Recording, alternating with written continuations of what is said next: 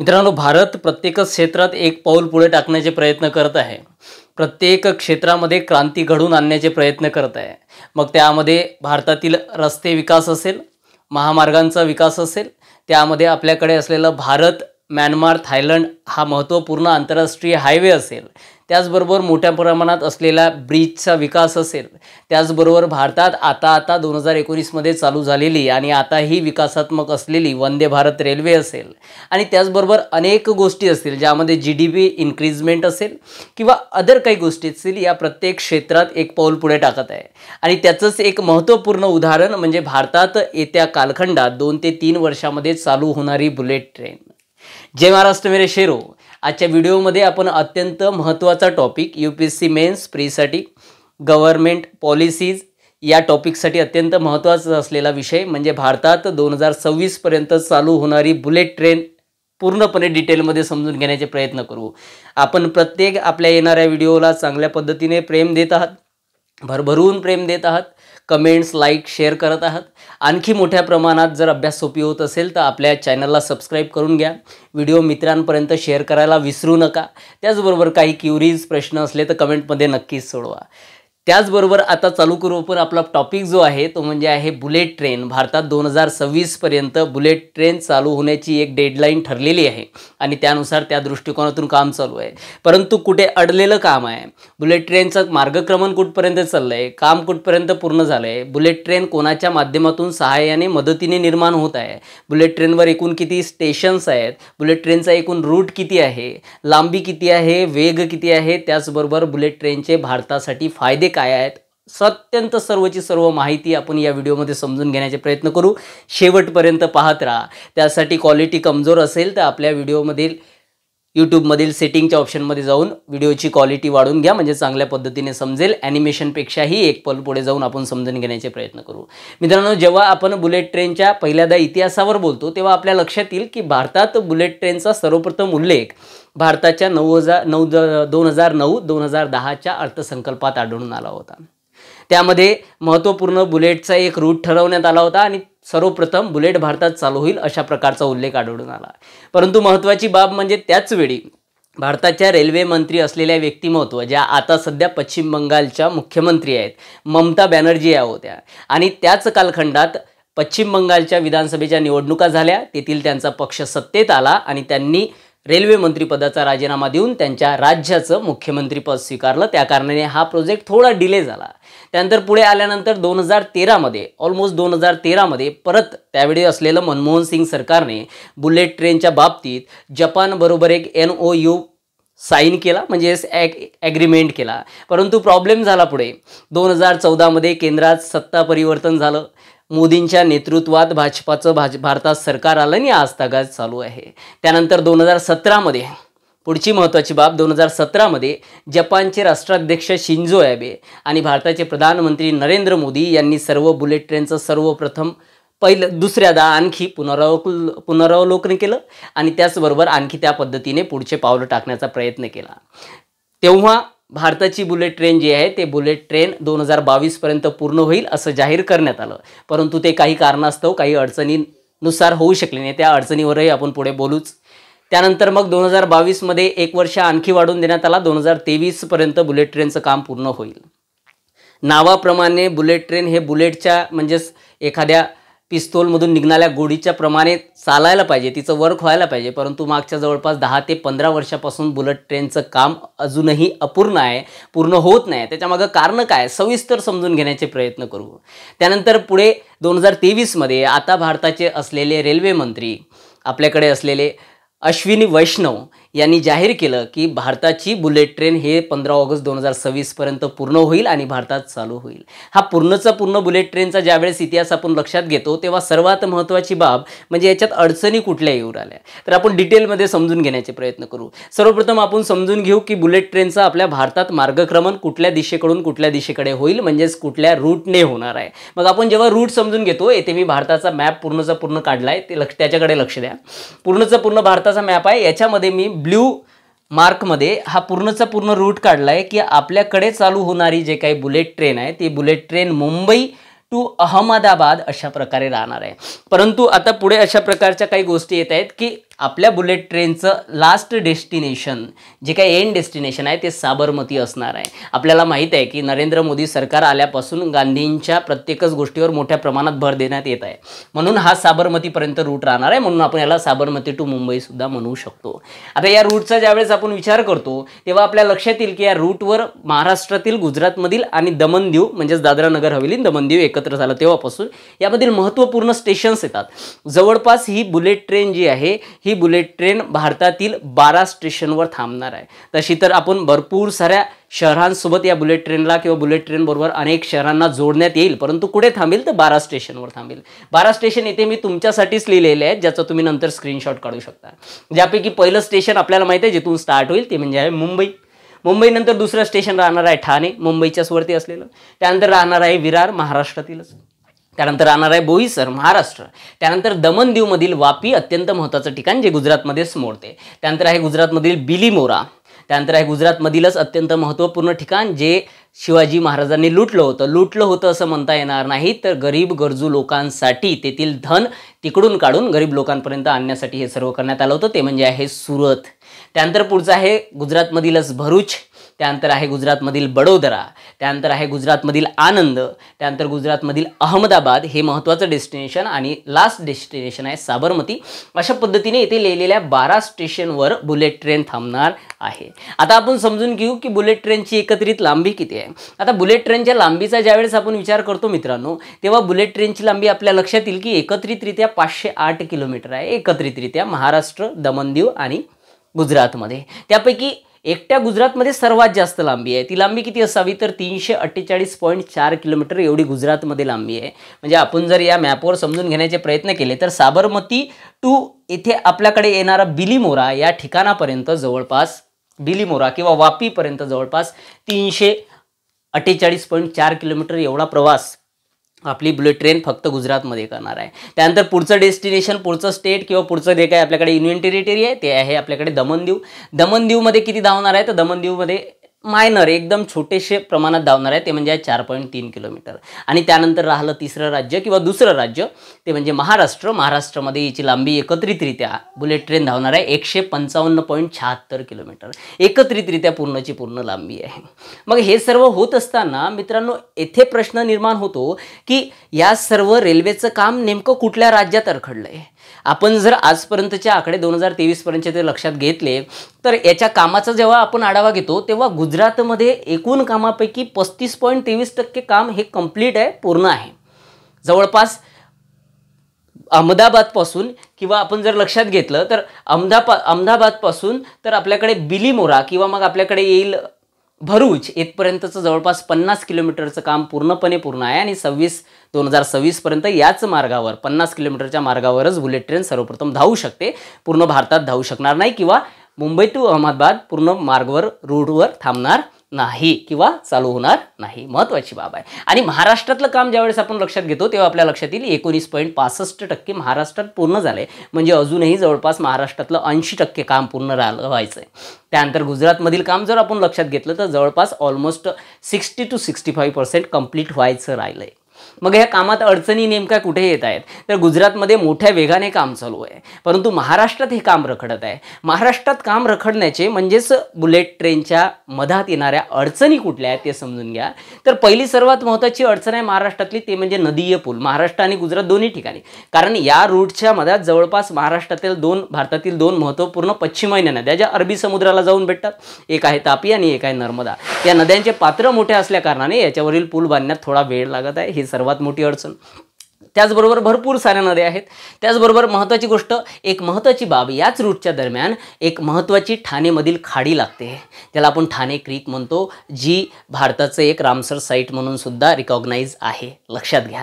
यास पूर्णच्या पूर्ण जे काही आपल्याकडे ठाणे क्रीक आहे या ठाणे क्रीकमध्ये मोठ्या प्रमाणात मॅनगो ट्रीज आहेत. त्याचबरोबर फ्लॅमिंगो मोठ्या प्रमाणात आढळून येतात. त्यांच्यासाठी हा प्रदेश राखीव आहे. म्हणून आपण तेथे कुठल्या प्रकारचं असं नैसर्गिक स्रोतांचा रास होईल असं काहीच करू शकत नाही. म्हणून तेथे काय आहे? तर तेथे जवळपास दोन किलोमीटरचा आणि तेरा मीटर रुंदीचा असा एक आपण टनल निर्माण केलं आहे आणि त्याचं काम आता पूर्णत्वास झालं आहे पूर्ण झालं आहे असं म्हणण्याला काही हरकत राहणार नाही. आणि हे टनल या टनलचं वैशिष्ट्य असं राहणार आहे हे भारतातील पहिलं अंडर द सी टनल राहणार आहे समुद्राच्या आतमधून जाणारं टनल राहणार आहे आणि सर्वात लांब टनल सुद्धा राहणार आहे. आजपर्यंत अंडर द सी टनल निर्माण झालेलं नाही. आणि हे पहिलंच असणार आहे. या टनलच्या कामामुळे आपल्या बुलेट ट्रेनच्या मधात मोठ्या प्रमाणात अडचणी निर्माण होत आहे त्याला एवढं ड्युरेशन वेळ लागत आहे. तिसरी महत्त्वाची अडचण ती म्हणजे महाराष्ट्रातील ती म्हणजे आहे जमीन अधिग्रहण. मित्रांनो शेतकऱ्यांची मोठ्या प्रमाणात जमीन आहे आणि शेतकरी आपली जमीन द्यायला कुठेच तयार नसतात. त्यांना चांगल्या पद्धतीने मोबदला भेटत असेल तरच ते आपली जमीन द्यायला तयार असतात. महाराष्ट्रात तोच एक प्रश्न निर्माण झाला आहे बुलेट ट्रेनच्या मधात. म्हणजेच जमीन अधिग्रहण शेतकरी बोललेल्या भावात जमीन द्यायला तयार नाही तर त्यांना जो योग्य दर गरजेचा आहे त्याच दरात ते जमीन द्यायला तयार आहेत. आणि आपण यावर काही बोलू शकत नाही. कारण आपण जर एका बाजूने कुठूनही भाग घेतो तर शेतकऱ्याचं नुकसान होणार आहे सरकारकडून भाग घेतो आणि शेतकऱ्याकडून भाग घेतो तर कुठेतरी भारताचा विकास थांबणार आहे. म्हणून यावर बोलणं आपण थांबलेलं गरजेचं. जमीन अधिकरण ह्या तीन महत्त्वपूर्ण अडचणी बुलेट ट्रेनच्या मधात येत आहे. म्हणूनच जवळपास दोन हजार दहापासून तर दोन हजार तेवीसपर्यंत हे काम रखडलेलं आहे. आणि अजूनही पूर्णत्वास आलेलं नाही आहे आणि जवळपास आपण जर इथून लक्षात घेतलं तर पस्तीस टक्के एकोणीस टक्के एवढं काम म्हणजे राहिलेलं काम पूर्ण करण्यास अजूनही पाच सहा वर्षाचा कालखंड पकडून चालावा लागेल. परंतु तत्पूर्वीच बुलेट ट्रेन चालू होईल काही स्टेशनच्या दरम्यान. हा पूर्णचा पूर्ण रूट किंवा पूर्णची पूर्ण लांबी आहे. त्याचबरोबर बुलेट ट्रेनच्या मधात येणाऱ्या अडचणी आपण समजून घेतल्या. त्यानंतर पुढे जात असताना आपल्याला समजून घ्यावं लागेल की आपल्या भारतात चालू होणारी बुलेट ट्रेन जी आहे ही भारतातील हाय स्पीड ट्रेन असणार आहे. मग या हाय स्पीड ट्रेनचा नेमका वेग किती आहे? कारण यापूर्वी आपण यापूर्वी आपण भारतात चालू झालेली वंदे भारत रेल्वे आपल्या यूट्यूब चॅनलवर जर तुम्ही गेले तर पूर्णची पूर्ण डिटेलमध्ये तुम्हाला माहिती भेटून जाईल. वाटल्यास मी डिस्क्रिप्शनमध्ये त्याची लिंकसुद्धा तुमच्यासाठी सोडून देतो जाऊन पाहून घेसाल तर ते समजून घेतली ती आहे semi high speed railway Vande Bharat railway जे जवळपास भारतात एकूण तेवीस चालू करण्यात आलेले आहे. त्यांची स्पीड जर आपण लक्षात घेतली तर वन फिफ्टी म्हणजे जवळपास एकशे पन्नास किलोमीटर पर आवर आहे. आणि बुलेट ट्रेनचा ज्यावेळेस विचार करतो आपण तिची स्पीड वेग आपल्या भारतात चालू होणाऱ्या बुलेट ट्रेनचा वेग तीनशे पन्नास किलोमीटर पर आवर आहे मित्रांनो तीनशे पन्नास किलोमीटर एका तासाला तीनशे पन्नास किलोमीटर एवढी वेगाने धावणार आहे. वेग महत्त्वाचा आहे. मग आपण जी bullet train Mumbai to Ahmedabad यांच्या दरम्यान चालू करू आलो किंवा साबरमतीपर्यंत चालू करू राहिलो. हे अंतर एकत्रित पाचशे आठ किलोमीटरचं अंतर कापण्यास बुलेट ट्रेनला वेळ किती लागेल? तर या वेगाने जर आपण विचार केला तर पावणे दोन ते दोन तासात ही पूर्णची पूर्ण बुलेट ट्रेन मुंबईवरून अहमदाबादला जाऊ शकेल. मित्रांनो जेव्हा आपण वेळेचा विचार करतो तेव्हा आपल्याला एक फायदा इथे बुलेट ट्रेनचा लक्षात येईल की मोठ्या प्रमाणात औद्योगिकदृष्ट्या लोकांच्या दृष्ट्या त्यांचा वेळ वाचणार आहे. कारण आपण जर सामान्य रेल्वेने मुंबईवरून अहमदाबादकडे मार्गक्रमण करतो म्हटलं तर जवळपास आपल्याला आठ ते नऊ तासाचा कालखंड लागतो. परंतु बुलेट ट्रेनने तोच कालखंड दोन तासावर येऊन ठेपेल. म्हणजेच काय? तर जवळपास सहा ते सात तास पूर्वी आपण किंवा सहा ते सात तास वाचून आपण अहमदाबादला जाऊ शकू किंवा अहमदाबादहून मुंबईला येऊ शकू. हा सर्वात महत्त्वपूर्ण एक फायदा आहे. त्याचबरोबर पेट्रोलचा फायदा असेल त्याचबरोबर आर्थिक काही फायदे असतील ते सर्वचे सर्व औद्योगिक फायदे असतील ते सर्व सर्व बुलेट ट्रेनचे फायदे असतील. लक्षात घ्या.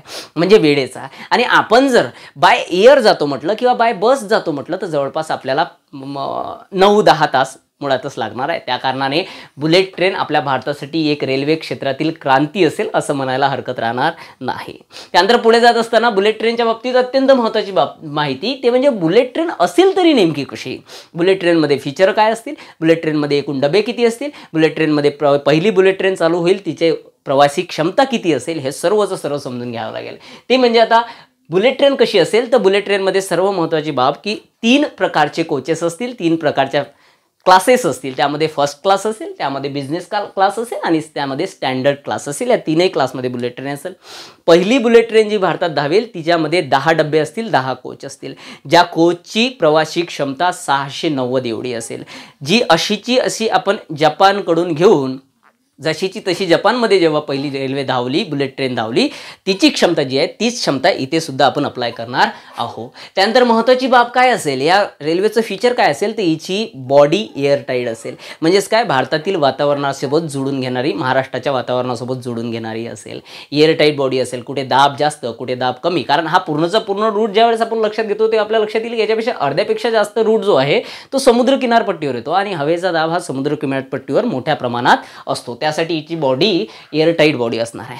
त्यानंतर पुढची महत्त्वाची बाब म्हणजे याचे विमानाप्रमाणे पूर्णचे पूर्ण वैशिष्ट्य असतील मग त्यामध्ये रोषणाई असेल त्यामध्ये हवाई सुंदरी जशा पद्धतीने असतात तिथे काम करणारे लोक ते सर्वच सर्व जेवणाची व्यवस्था सीटची व्यवस्था सर्वची सर्व व्यवस्था विमानाप्रमाणे आपल्याला आढळून येईल.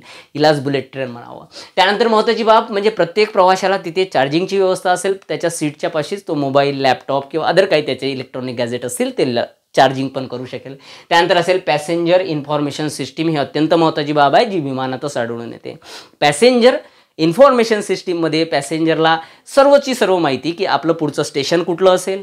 आपण एकत्रितरित्या किती किलोमीटर प्रवास केला आहे आपल्या डेस्टिनेशनपर्यंत जाण्यासाठी आपल्याला किती वेळ लागेल? एकूण किती कालखंड राह राहिला आहे आणि आपण कुठपर्यंत पोहोचलो आहे हे सर्वची सर्व इन्फॉर्मेशन किंवा काही आपत्ती येऊ शकते का? बाहेर पाऊस चालू आहे का? किंवा अदर काही गोष्टी ॲटमॉस्फिअरशी संबंधित सर्वच्या सर्व लोकांना बुलेट ट्रेनमध्ये बसूनच मिळणार आहेत. अशा पद्धतीने आपली पूर्णची पूर्ण बुलेट ट्रेन असणार आहे. आता मित्रांनो व्हिडिओच्या अंती आपल्याला समजून घ्यावं लागेल की बुलेट ट्रेनचे नेमके फायदे काय आहेत जे अनन्यसाधारण महत्त्व आपल्याला बुलेट ट्रेनचं व्यक्त करतात. त्यापैकी पहिला फायदा मी तुम्हाला सांगितला टाईम सेव्हिंग म्हणजे जवळपास आपण दोन तासात अहमदाबादला पोहोचू शकू. आज जर आपण विचार घेतला सामाधान साधारण रेल्वेनुसार तर आपण सहा ते सात तासात पोहोचतो. बसने विचार घेतला तर नऊ ते दहा तासात पोहोचतो. आपण बुलेट ट्रेनने दोन तासातच पोहोचू. म्हणजे कितीतरी प्रमाणात आपला वेळ येथे मोठ्या प्रमाणात वाचणार आहे आणि वेळच सर्व काही आपण म्हणतो. की वेळच सर्व काय आहे. व्यक्तीला ठोकर लागायची असेल तर वेळच त्याला सर्वच्या सर्व गोष्टी शिकून जाते. म्हणून वेळ वाचते हे सर्वात महत्त्वाची बाब आहे. दुसरी महत्त्वाची बाब कार्बन उत्सर्जन. मित्रांनो आपण जर आताचा विचार केला आताच्या रेल्वेचा विचार केला बसेसचा विचार केला किंवा एअरक्राफ्टचा विचार केला तर भारतामध्ये जवळपास सहाशे किलोमीटर कुठलीही बस चालत असेल साधारण रेल्वे चालत असेल किंवा मग विमान चालत असेल तर दर सहाशे किलोमीटरला त्या विमानातून किंवा त्या बसमधून किंवा त्या ट्रेनमधून जवळपास सदुसष्ट किलो ते अठ्ठ्याण्णव किलोपर्यंत कार्बन उत्सर्जन होते. हे प्रमाण खूप मोठ्या प्रमाणात आहे. ज्यामुळे मोठ्या प्रमाणात भारतात हवेचं प्रदूषण किंवा सर्वच प्रकारचं प्रदूषण आपल्याला आढळून येते. लक्षात घ्या. परंतु ज्यावेळेस बुलेट ट्रेन आपण चालू करू तेव्हा एकदम आश्चर्यचकित करणारे आकडे असतील की त्याच तेवढ्याच अंतरासाठी म्हणजे जवळपास सहाशे किलोमीटर जर बुलेट चालत असेल बुलेट ट्रेन चालत असेल तर सहाशे किलोमीटरला फक्त आठ किलोग्रॅम म्हणजे आठ किलो एवढंच कार्बन उत्सर्जन होणार आहे म्हणजे दहा टक्केसुद्धा नाही. आताच्या दृष्टिकोनातून जर विचार केला तर हे सर्वात महत्त्वपूर्ण सर्वात महत्त्वपूर्ण वैशिष्ट्य आपल्याला बुलेट ट्रेनचं फायदा बुलेट ट्रेनचा आढळून येईल. त्यानंतर पुढचा अत्यंत महत्त्वाचा फायदा तो मी म्हणत नाही किंवा तो भारत म्हणत नाही तर जगभरातील अत्यंत महत्त्वाचं असलेलं Eno economic university of London school of economics असेल किंवा मग university of university of Hamburg असेल. लंडन स्कूल ऑफ इकॉनॉमिक्स किंवा मग युनिव्हर्सिटी ऑफ हामबर्ग असेल. यांच्या काही सर्वेनुसार असं लक्षात आलं की एखाद्या देशामध्ये जेव्हा बुलेट ट्रेन धावते तेव्हा त्या देशाचा जी डी पी दोन पॉईंट सात टक्क्यांनी इन्क्रीज होतो वाढतो. हाही अत्यंत महत्त्वपूर्ण भारतासाठी बुलेट ट्रेनचा फायदा असणार आहे मित्रांनो. लक्षात घ्या. आपण या व्हिडिओमध्ये महत्त्वाच्या पूर्ण गोष्टी समजून घेतल्या. परंतु आता पुढची महत्त्वाची गोष्ट समजून घेणे गरजेचं आहे की बुलेट ट्रेनसाठी एकत्रितरित्या खर्च किती येणार आहे?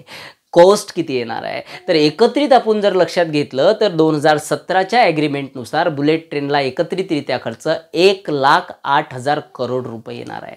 परंतु आताच्या अंदाजानुसार जर लक्षात घेतलं वाढलेला ड्युरेशन जर आपण लक्षात घेतला तर हाच खर्च दोन लाखापर्यंत जाऊ शकते मित्रांनो. आता पुढचा महत्त्वाचा प्रश्न की एवढा मोठा खर्च नेमकं कोण करणार आहे? कारण आपण दोन हजार सतरामध्ये भारताचे प्रधानमंत्री नरेंद्र मोदी आणि शिंजो ॲबे जे जपानचे आपल्याकडे राष्ट्राध्यक्ष आहे यांच्यामध्ये एक एन ओ यू म्हणजे एक ॲग्रीमेंट झाला ज्या ॲग्रीमेंटनुसार आपल्याला एकूण खर्चापैकी एक्क्याऐंशी टक्के ठरवलेला खर्च एक लाख आठ हजारापैकी एक्क्याऐंशी टक्के म्हणजे जवळपास अठ्ठ्याऐंशी हजार करोड रुपये जपान सरकार देणार आहे जपानची कंपनी देणार आहे ज्या कंपनीचं नाव आहे J I C A Japan international corporation agency अठ्ठ्याऐंशी हजार करोड रुपये देणार आहे. म्हणजेच काय? तर भारतात निर्माण होणारी बुलेट ट्रेन कोणाच्या मदतीने चालू करण्यात येत आहे? तर ते देश आहे जपान देश. कारण जपानमध्ये यापूर्वीच बुलेट ट्रेन चालू झालेली आहे. ती सर्वची सर्व टेक्नॉलॉजी आपल्याला एकटा जपान देत आहे. लक्षात घ्या. म्हणून आपण तसा प्रकारचा करार जपानच्या जे आय सी ए बरोबर केला. त्याचबरोबर जे आय सी ए आणि एक भारतातील अत्यंत महत्त्वपूर्ण कंपनी जे बुलेटसाठी काम करा बुलेट ट्रेनसाठी काम करत आहे जिचं नाव आहे N H S R L. National High Speed Railway Limited. National High Speed Railway Limited ही कंपनी अत्यंत महत्त्वाची आहे ज्याचे एम डी सध्या आपल्याकडे आहेत राजेंद्र प्रसाद. हे सुद्धा नेहमी नेहमी चर्चेत असतात बुलेट ट्रेनवर भाष्य करतात त्या कारणाने. या दोन कंपन्या मिळून पूर्णचं पूर्ण बुलेट ट्रेनचं काम करत आहेत. एक्क्याऐंशी टक्के आपल्याला जपान सरकार कर्ज देत आहे. जे आय सी ए कर्ज देत आहे जे जपान सरकारच्या मालकीचे आहे आणि भारताचं आहे N H S R L. याचबरोबर एन एच आर एल आता मोठ्या प्रमाणात चर्चेत आहे.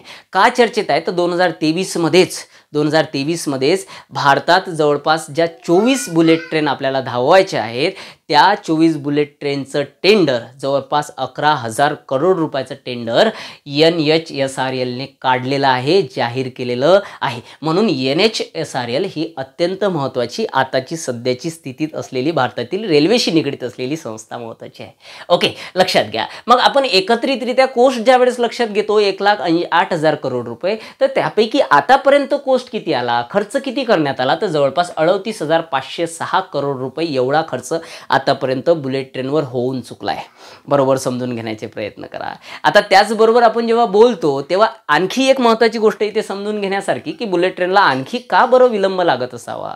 बुलेट ट्रेनमध्ये अशा कुठल्या गोष्टी आहे? तर बुलेट ट्रेन जपानच्या टेक्नॉलॉजीच्या धर्तीवर तर होतच आहे परंतु मोदी सरकारने आणि शिंजो ॲबे जपानचे राष्ट्राध्यक्ष यांच्यामध्ये जेव्हा ॲग्रीमेंट झाला तेव्हा त्या ॲग्रीमेंटमध्ये एक महत्त्वाची गोष्ट जपानने आपल्याकडून लिहून घेतली. मित्रांनो कोणीही मदत करते तर त्याच्यामागं त्यांचा खूप मोठा उद्देश असते खूप मोठा पर्पज असते आणि स्वतःचा फायदा पाहण्यासाठी ते सर्व करत असतात.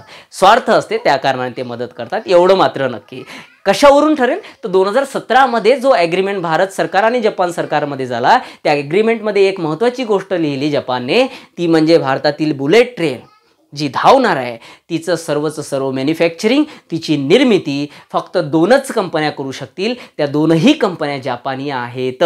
ती एकाचं नाव आहे हिटाची आणि दुसरी आहे कावासाकी. या दोनच कंपन्या पूर्णची पूर्ण बुलेट ट्रेन तयार करू शकतील. आणि त्या कुठल्या आहेत जपानच्या आहेत. हा एकमेव आणि महत्त्वपूर्ण फायदा जपानला आपल्या भारतात बुलेट ट्रेन तयार करून होणार आहे. तो तर होईलच. आणि आपल्याला जे कर्ज लोन जपान सरकार देत आहे. त्यावर मोठ्या प्रमाणात व्याजसुद्धा जपान वसूल करणार आहे.